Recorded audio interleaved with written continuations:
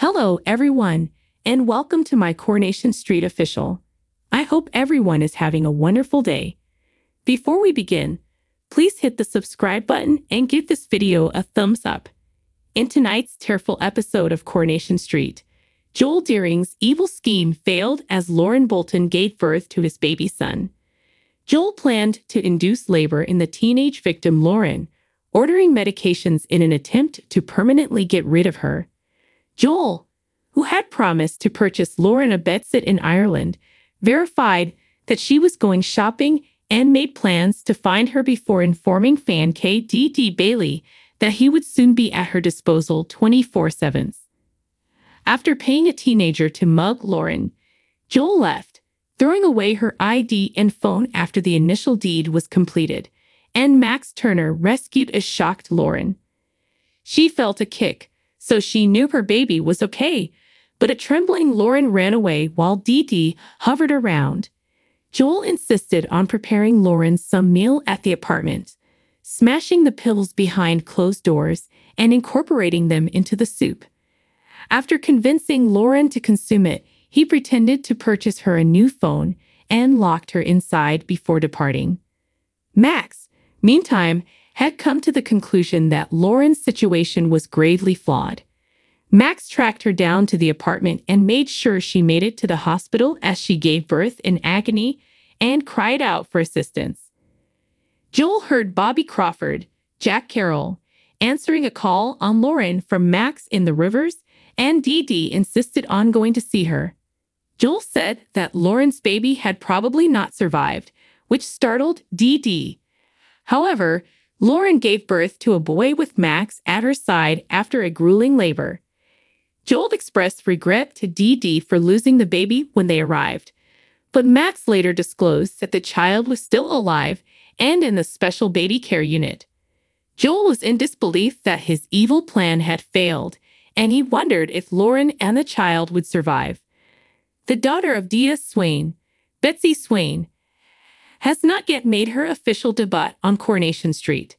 After becoming close to her mother, Carla Connor, Alison King recently offered the young child work experience at Underworld.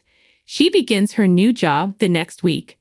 Her machining prowess impresses Fizz Brown, Jennie McAlpine, and boss Carla. But soon after Carla discovers Betsy texting and takes away her phone, there's a fight between Betsy and her new supervisor. Fans believe Betsy is Sabrina Adetiba's buddy, even though we haven't met her yet. Betsy recently advised Sabrina to avoid evil attorney Joel Deering. After pointing out that Joel is a creep and cautioning her to avoid him, Sabrina's friend went over. After taking his card, she feigned to throw it in the trash but kept it for herself. Later on, viewers appeared to understand why, as the as yet unknown visitor confronted Joel and attempted to use her as a pawn, threatening to reveal his weird behavior and threatening to give him a big gob. Fans of the soap opera believe they have figured out who the newcomer might be. Someone posted the following on X, the platform that was formerly known as Twitter. Is this Sabrina's daughter?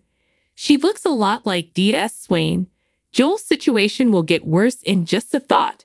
What if Betsy, D.S. Swain's daughter, is Sabrina's mystery unnamed friend, the one who is blackmailing Joel? Asked a second. Swain's daughter 100%, wrote a third, and as a guest, D.S. Swain's daughter, as she is supposed to be appearing, was written by a fourth. A Reddit user with a keen eye added, Word is around the web that we have already met Betsy, as a new video on the official Twitter was posted late last night of Sabrina's friend taunting Joel. As of right now, the friend's identity is unknown. Could this be Betsy Swain alerting Sabrina on the need to avoid Joel? Can the coming doom be avoided for Sabrina? Sydney Martin is the actress portraying the friend. It appears that she will be a member of Max and Bobby's team, maybe a girlfriend for Max. The fans have till the following week to determine Betsy's real identity. Fans of Coronation Street think they know exactly how Kit is going to get even with his biological mother, Bernie. Bernie disclosed earlier this year that she had a son who she placed for adoption about 30 years ago. All she knew was that, not long after he was born, his name was changed from Zodiac to Christopher Green. Once they located him, it was revealed that he was Christopher Kit Green, a detective who had just moved to Weatherfield. When it eventually came to light that he was actually Bernie's legitimate son, Kit, Jacob Roberts, refused to have anything to do with her or her family. Bernie's twins, Gemma, Dolly Rose Campbell, and Paul, Peter Ash, are unaware that they have a second sibling in the meantime. In addition, Kit was instrumental in Nathan Curtis's, Christopher Harper, imprisonment for Lauren Bolton's murder. The problematic teenage girl, as viewers may recall, vanished earlier this year and is reportedly dead, according to The Express. But in an unexpected turn of events, Kit put Lauren's DNA in the van of the pedophile Nathan, accusing him of killing her. The audience eventually learned the truth about Lauren's disappearance.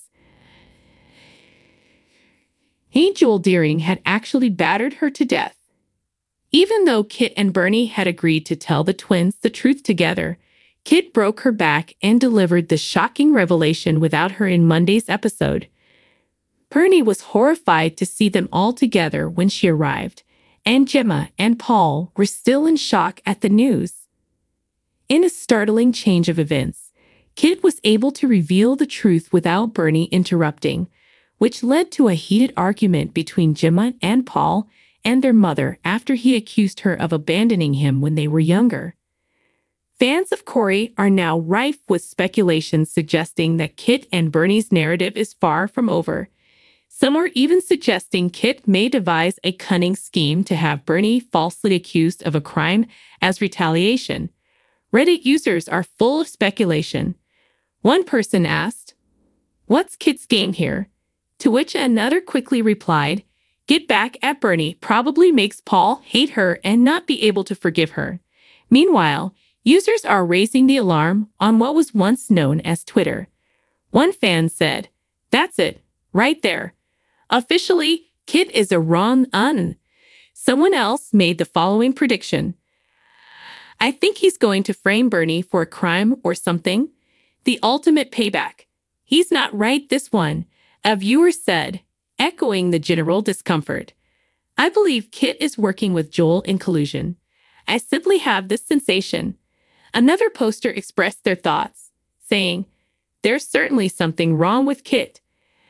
I sense something negative from him.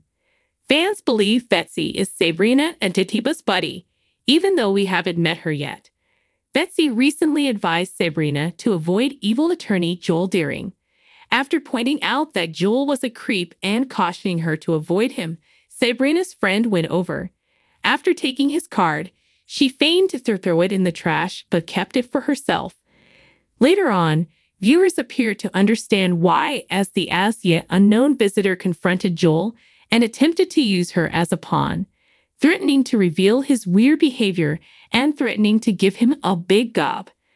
Thanks for watching if you like this video. So please don't forget to subscribe my channel and don't miss any update.